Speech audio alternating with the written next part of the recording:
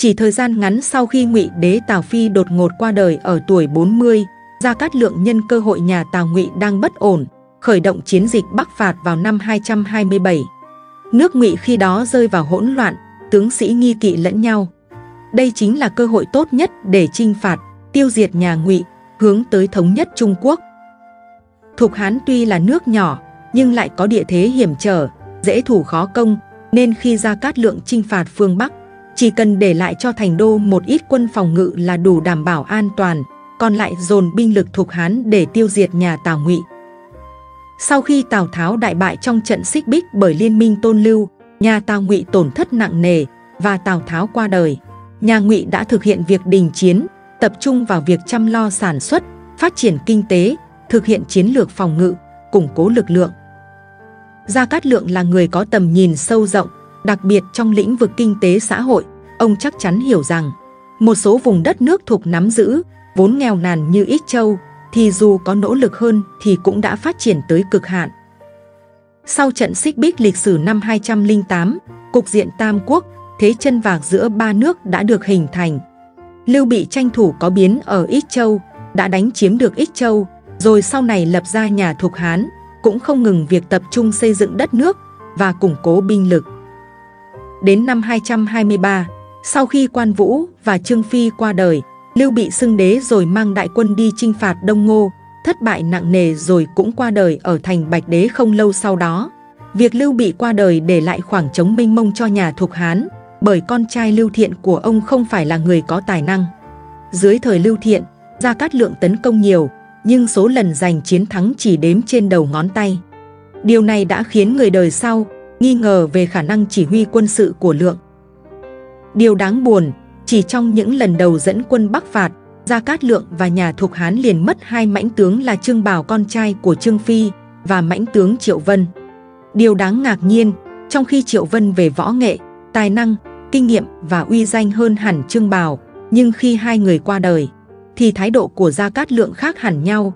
Trong khi Triệu Vân qua đời, Gia Cát Lượng chỉ khóc thương, còn Trương Bảo chết, ông lại đau đớn đến mức nôn cả ra máu.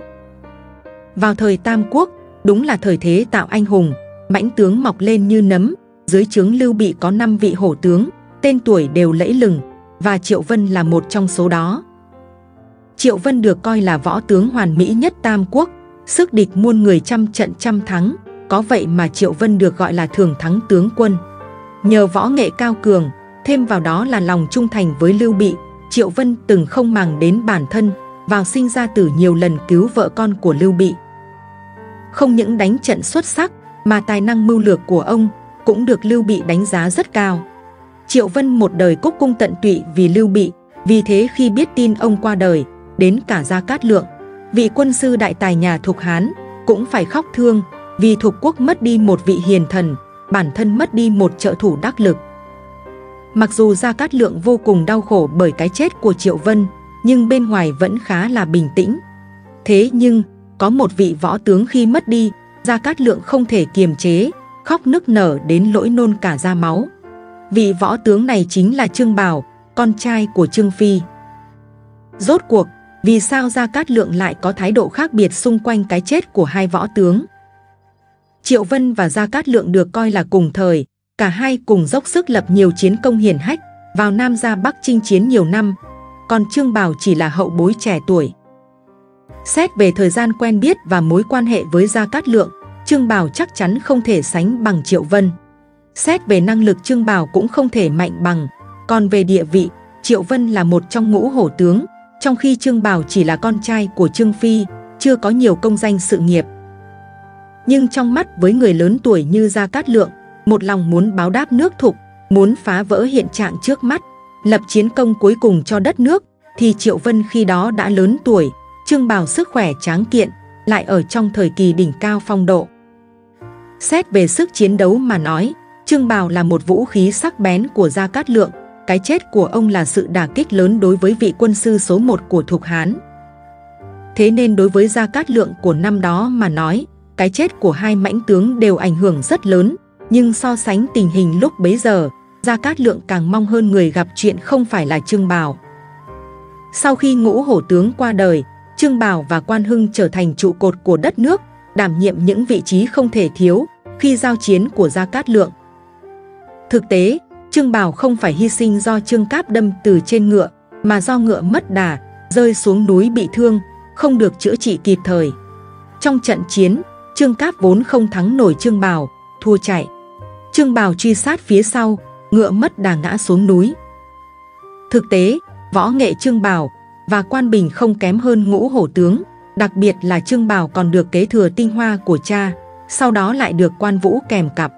Lúc sinh thời, Quan Vũ từng nói, Trương Bảo hơn cha, là nhà có phúc. Khi đó, Thục quốc sớm đã đi qua thời kỳ huy hoàng, tình hình trong và ngoài nước đều bất ổn.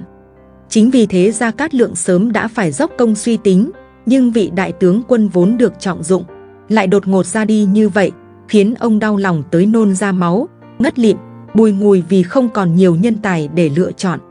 Việc Gia Cát Lượng nôn ra máu cũng ngầm ám hiệu thuộc quốc đã bắt đầu sức cùng lực kiệt. Triệu Vân và Trương Bảo đều là đại tướng của nước Thục, nhưng không cùng thời. Hai người họ đều dốc lòng dốc sức cho nước Thục, tuy rằng Gia Cát Lượng có phản ứng khác nhau đối với cái chết của họ, phần lớn do thời điểm qua đời của họ khác nhau. Nếu như ở thời đại của Triệu Vân, nhân tài nước thuộc lớp lớp mọc lên, Gia Cát Lượng tuy rằng có đau khổ, nhưng cái chết của một vị tướng lĩnh không quá ảnh hưởng tới đại cục, hơn nữa bản thân ông cũng dẫn dắt đoàn quân, không thể ảnh hưởng tới lòng quân. Còn Trương Bảo lại khác, thuộc quốc không còn đại tướng, Gia Cát Lượng vì lo lắng, lại thêm sức lực càng lúc càng hao kiệt mà thổ huyết. Gia Cát Lượng rơi nước mắt sau cái chết của Triệu Vân, đại tướng trong nhóm ngũ hổ tướng, nhưng thổ huyết khi Trương Bảo mất, nguyên do là như thế. Trương Bảo được xem là một trong những người có thực lực gánh vác nhà thục, luôn được Gia Cát Lượng tin tưởng coi trọng. Trương Bảo là một trong những người có thể đảm đương nhiệm vụ gánh vác nhà thục vào thời kỳ hậu Tam Quốc. Vào lúc Triệu Vân qua đời, Gia Cát Lượng khi đó chưa hay tin còn đang vui vẻ uống rượu ở nhà. Giữa giây phút hoan lạc đó, con trai Triệu Vân mang theo vết thương nghiêm trọng trên mặt vội vàng chạy đến. Gia Cát Lượng lúc đó liền cảm thấy có chuyện gì không ổn phát sinh. Quả nhiên con trai Triệu Vân vừa khóc, vừa báo phụ thân của mình đã qua đời. Gia Cát Lượng nghe tin, không thể kiềm chế sự đau xót mà hét rằng ta đã mất đi một cánh tay rồi. Đối diện với việc Thục Hán tổn thất đi một vị đại tướng, Gia Cát Lượng đau buồn là điều khó tránh khỏi. Tuy nhiên khi Trương Bào chết, Gia Cát Lượng lại không chỉ có mỗi khóc thương. Trong lịch sử, Trương Bào về tài năng và danh tiếng không bằng cha mình là Trương Phi, nhưng lại là một đại tướng rất tài năng của đất Thục. Đặc biệt là vào thời kỳ hậu Tam Quốc, Trương Bào được xem là một trong những người có thực lực gánh vác nhà Thục Hán, luôn được Gia Cát Lượng tin tưởng coi trọng. Trương Bào được Gia Cát Lượng nhiều lần cử đi phạt ngụy cùng mình. Năm 229, dưới sự dẫn dắt của Trương Bào, quân thục thế như trẻ tre, một mạch công phá âm bình, hạ vũ đô. Đại tướng nhà ngụy là Quách Hoài hoàn toàn không thể cản đường, phải vứt đao cởi giáp bỏ chạy bảo toàn tính mạng.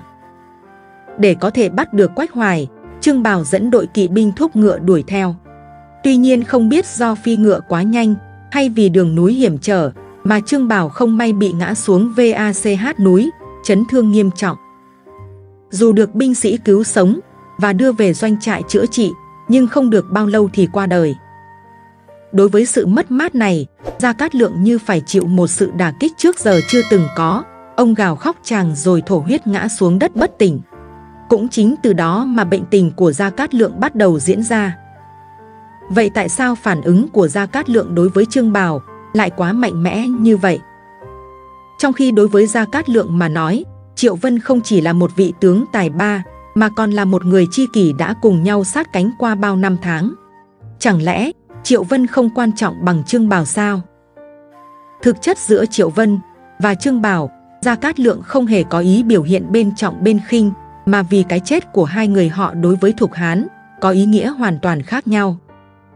Đầu tiên là Triệu Vân, Ông qua đời vì tuổi già, không phải vì chết đột ngột hay anh hùng đoàn mệnh. Triệu Vân khi đó đã lớn tuổi, không còn dũng mãnh như năm nào nữa. Thục Hán cũng không thể phái Triệu Vân tiếp tục dẫn quân đánh giặc, bởi giai đoạn này là lúc ông chỉ có thể an hưởng tuổi già, dù có ra trận cũng lực bất tòng tâm. Dù sao thì Triệu Vân cũng đã dành hơn nửa cuộc đời mình để cống hiến cho nhà Thục, có thể nói Triệu Vân đã hoàn thành sứ mệnh. Còn vai trò của Trương Bào lúc này lại hoàn toàn khác. Con trai Trương Phi lúc này đang tuổi sung mãn, là hy vọng tương lai của nhà Thục, được gọi là Tiểu Trương Phi. Không chỉ võ nghệ siêu quần, mà Trương Bào còn rất giống cha mình, ở lòng trung nghĩa. Mỗi lần sát cánh trên chiến trường cùng Gia Cát Lượng, Trương Bào đều thể hiện vô cùng xuất sắc. Trong quan điểm của Gia Cát Lượng, Trương Bào sớm đã xác định dành cả cuộc đời tận trung vì nhà thục, đều hy vọng sớm có thể thực hiện lý tưởng thống nhất Trung Nguyên. Vì vậy, sự ra đi đột ngột của Trương Bào cũng chẳng khác gì chặt đứt nốt cánh tay còn lại của Gia Cát Lượng. Kế hoạch phạt Bắc chẳng còn ai để trông cậy, thế nên Gia Cát Lượng không chỉ cảm thấy đau xót mà còn vô cùng tuyệt vọng. Vì sao Gia Cát Lượng quyết diệt Tào Ngụy cho đến chết? Bắc phạt chính là cách để Gia Cát Lượng lấy công làm thủ, tiêu diệt Tào Ngụy thống nhất Trung Quốc, là tâm nguyện và là chiến lược quân sự lớn nhất trong cuộc đời của ông. Năm lần Bắc phạt diệt Tào Ngụy trong giai đoạn 228 đến 234 thất bại, quân thục không đạt được mục tiêu đề ra. Sự nghiệp Bắc phạt Trung Nguyên, hưng phục Hán thất của Gia Cát Lượng kết thúc dở dang khi ông bị bệnh và mất trong lần thứ 6 ra Kỳ Sơn. Việc Gia Cát Lượng quyết Bắc phạt, bất chấp thực tế quân thục chưa đủ thực lực, đã để lại nhiều tranh cãi cho hậu thế. Trong khi đó, nếu để cho nhà Ngụy có thời gian khôi phục, thì chuyện Tào Ngụy thống nhất miền Nam là điều hoàn toàn có thể xảy ra. Một số nhà sử học Trung Quốc cho rằng mục đích bắc phạt của Gia Cát Lượng nhằm thổi bùng lên cuộc bạo loạn mới ở Trung Nguyên, ngăn cản đà phục hồi kinh tế của nhà Ngụy. Ngay chính Khổng Minh cũng nhắc đến mục đích của bản thân trong Long Trung đối sách bằng câu nói thiên hạ có biến. Nếu thiên hạ không có xung đột thì phải tìm mọi cách để tạo ra xung đột. Dựa trên quan điểm này, sớm muộn Gia Cát Lượng cũng phải bắc phạt. Trên thực tế, trong 5 lần tiến quân về phương Bắc, quân thục không ít lần giành được những chiến thắng chiến thuật, nhưng không thể duy trì lợi thế. Thất bại trong lần chinh phạt đầu tiên do mã tốc sai lầm để mất nhai đình, lần hai do quân lương thiếu hụt, lần thứ ba do Trương Bảo hy sinh khiến Khổng Minh đổ bệnh. Thất bại lần thứ tư do Lưu Thiện trúng kế phản gián của Ngụy, ra lệnh thu binh, lần thứ năm do Lý Nghiêm mắc lỗi khi vận chuyển lương thảo. Nguyên nhân sâu xa nằm ở việc quân Thục Hán không thể đánh trận Trường Kỳ. Càng về sau, quân Ngụy do Tư Mã Ý chỉ huy kiên quyết theo đuổi chiến thuật phòng ngự chặt, cố thủ không ra đánh. Tào Ngụy cũng khôn khéo tập kích vào tuyến đường, vận chuyển lương thảo của Thục Hán, khiến cho cuộc chiến Thục Ngụy chủ yếu biến thành giao tranh cướp bóc lương thảo. Sau này, khi Gia Cát Lượng mất, thì người kế nhiệm ông là Đại tướng Khương Duy, vẫn tiếp tục đường hướng quân sự này. 9 lần khởi binh đánh Ngụy cũng không đem lại kết quả khả quan. Theo các nhà nghiên cứu lịch sử, Trung Quốc, trong chiến lược Long Trung đối sách, Gia Cát Lượng coi Kinh Châu và Ích Châu là hai địa bàn quan trọng. Trải qua thời gian, bên trong nhà Thục Hán hình thành nên hai phe phái, theo đuổi lợi ích khác nhau. Kế hoạch của Lưu Bị là để nhóm Kinh Châu của Gia Cát Lượng cai trị Ích Châu. Đại tướng Lý Nghiêm của nhóm Ích Châu thống trị Kinh Châu. Năm 221, quân Thục để mất Kinh Châu vào tay Đông Ngô khiến nội bộ Thục Hán mâu thuẫn nghiêm trọng. Qua thời gian, Lý Nghiêm ngày càng ham muốn quyền lực và nảy sinh mâu thuẫn với Gia Cát Lượng. Bên cạnh đó, Tào Ngụy đã liên tục tuyên truyền. Trong lãnh thổ Ngụy, đại bộ phận người dân đã công nhận tính hợp pháp của chính quyền gia tộc họ Tào. Nhiều người bản địa Ích Châu thậm chí còn thừa nhận tính hợp pháp của nền thống trị Tào Tháo. Vì vậy, Gia Cát Lượng không có cách nào khác mà buộc phải kiên trì với chính sách khôi phục Hán Triều, khởi binh Bắc phạt trước khi quá muộn. Gia Cát Lượng cũng muốn lợi dụng chiến dịch Bắc phạt để chiêu mộ nhân tài. Ngoài ra, mối quan hệ giữa Gia Cát Lượng với người kế nghiệp Lưu Bị, Lưu Thiện cũng không mấy êm đẹp. Giống như cha, mặc dù để Gia Cát Lượng toàn quyền lãnh đạo đất nước, nhưng Lưu Thiện cũng không hoàn toàn tin tưởng Lượng.